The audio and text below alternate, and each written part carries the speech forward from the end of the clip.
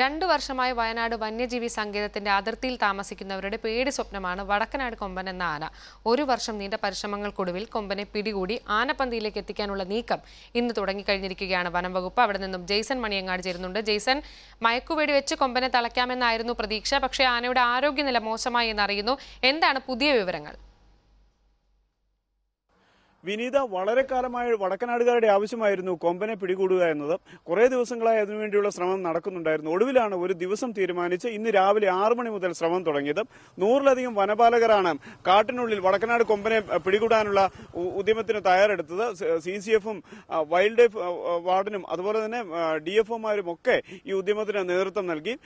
നില ചതുപ്പ് നിലത്തിൽ വടക്കനാട് കൊമ്പൻ ഉണ്ട് എങ്കിൽ അവിടെ നിന്നും പിടികൂടുക അസാധ്യമാണ്. അതുകൊണ്ട് തന്നെ നല്ല സ്ഥലത്ത് അതായത് ലോറിയും മറ്റും സൗകര്യങ്ങളും എല്ലാം എത്താൻ സാധിക്കുന്ന സ്ഥലത്തേക്ക് എത്തിക്കുക എന്ന ലക്ഷ്യമായിരുന്നു. പതിനൊന്ന് മണിക്ക് മുമ്പ് മുമ്പ് മയക്കോടി വെച്ച് കൂട്ടിലെത്തിക്കണം പന്തിയിലെത്തിക്കണമെന്ന് തന്നെയായിരുന്നു വനംവകുപ്പിന്റെ ധാരണ. കാരണം വെയിലായാൽ ചൂട് കൂടിയാൽ മയക്കോടി വെക്കുന്നത് ആനയുടെ ആരോഗ്യത്തെ ബാധിക്കും എന്നുള്ളത് കൊണ്ട് നേരത്തെ വെക്കാനുള്ള ശ്രമമായിരുന്നു.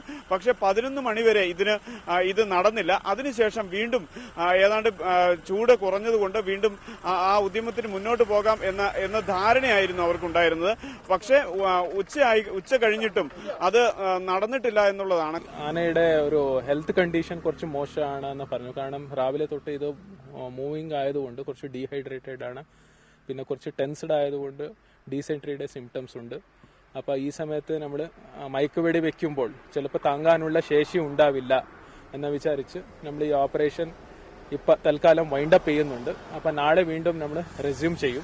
വളരെ സൂത്രശാലിയായ ഒരു കൊമ്പനാണ് വടക്കനാട് കൊമ്പൻ. കാരണം ആളുകൾ ആളുകൾ എങ്ങനെ പെരുമാറുന്നു എന്ന് മനസ്സിലാക്കി സൂത്രത്തിൽ മാറി നിൽക്കാനുള്ള ശ്രമം പണ്ടേ ഉള്ളതാണ്. പണ്ടേ വനം വകുപ്പ് ഇത്തരത്തിൽ പിടികൂടാനുള്ള ശ്രമം നടത്തിയപ്പോൾ കർണാടകയിലേക്ക് വലിഞ്ഞ് ഏതാണ്ട് ആറ് മാസത്തിന് ശേഷമാണ് വീണ്ടും തിരികെ വന്നത്.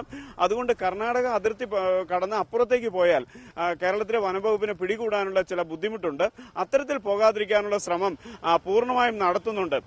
നാളെ രാവിലെ ഇത് കേരളത്തിൽ കൃത്യമായും പറ്റുന്ന ഒരു സ്ഥലത്താണെങ്കിൽ നാളെ രാവിലെ തന്നെ പിടികൂടുമെന്ന ഉറപ്പ് വനപാലകർ നൽകുന്നുണ്ട്. കാരണം ഇപ്പോൾ നിൽക്കുന്ന സ്ഥലത്ത് നിന്നും ഏതാണ്ട് ഒന്നോ രണ്ടോ കിലോമീറ്റർ അങ്ങോട്ടോ ഇങ്ങോട്ടോ മാറിയാലും നിലവിൽ പ്രതിസന്ധികളൊന്നുമില്ല. പിടികൂടുന്നതിന് വലിയ ബുദ്ധിമുട്ടും ഉണ്ടാകില്ല ലോറിയും മറ്റ് സൗകര്യങ്ങളും ഒക്കെ എത്താൻ സാധ്യതയുള്ള സ്ഥലമാണ്. അവിടെ നിന്ന് മുത്തങ്ങ ആനപ്പന്തിയിൽ എത്തിക്കുക എന്നുള്ളത് ഏതാണ്ട് മൂന്ന് മണിക്കൂറിനുള്ളിൽ സാധിക്കും. ആനയെ മയക്കുവടി വെച്ച് കഴിഞ്ഞ് കഴിഞ്ഞാൽ മൂന്ന് മണിക്കൂറിനുള്ളിൽ ആനയെ ആനപ്പന്തിയിൽ എത്തിക്കണം കാരണം അതിന്റെ ആരോഗ്യത്തെ അത് അതിനുശേഷമാണ് അതിന്റെ ജീവനെ പോലും ബാധിക്കുന്നതാണ്. അതുകൊണ്ട് ആന അത് അത് എത്തിക്കാൻ സാധിക്കുമെന്നാണ് പ്രതീക്ഷ. അങ്ങനെയെങ്കിൽ നാളെ ആറു മണിക്ക് മയക്കുപൊടി വെച്ചാൽ ഏതാണ്ട് ഒൻപത് മണി പത്ത് മണിയോടുകൂടി ആനയെ കൃത്യമായി ആനപ്പന്തിയിൽ എത്തിക്കാൻ സാധിക്കുമെന്ന പ്രതീക്ഷയാണ് ഇവർക്കുള്ളത്. മൂന്ന് കുങ്കിയാനകളും മുത്തങ്ങയിലേക്ക് പോകില്ല. നിലവിൽ നമ്മളിപ്പോൾ നിൽക്കുന്ന വടക്കനാട് പരിധിയിൽപ്പെടുന്ന കുപ്പാടി കുപ്പാടിയിൽ തന്നെ ഉണ്ടാകും.